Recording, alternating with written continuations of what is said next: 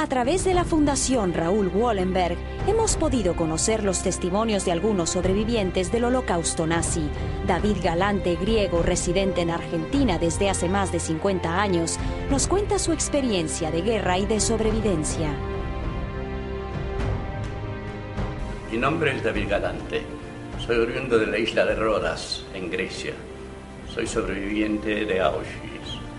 Fuimos trasladados por los nazis a Auschwitz, un grupo de 1800 judíos que vivíamos en Rodas.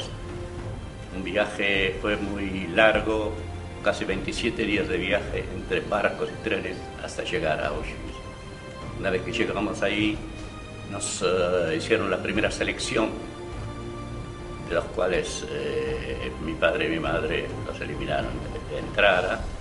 Tenía tres hermanas y un hermano estaba en la enfermería, estaba muy enfermo, ya, digamos, desahuciado, pero fuimos liberados por las tropas rusas.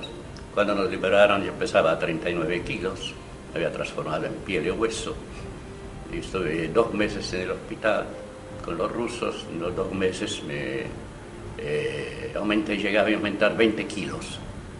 Mis hermanas fallecieron las tres en el trabajo mi hermano se salvó y entonces cuando me enteré que estaba ahí fui por Italia para estar junto con él, porque pensábamos venir a la Argentina. Entonces mi hermano acá se las arregló con un comisario de un barco de carga para que nos trajera desde Italia. El barco llegó al puerto de Bari, nos, eh, eh, nos embarcó de noche.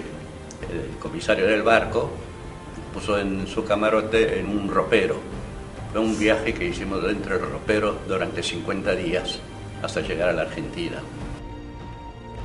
Hace más de medio siglo, el 24 de agosto de 1947, David Galante llegó a Argentina, lugar que lo acogió y se convirtió en su refugio y su casa.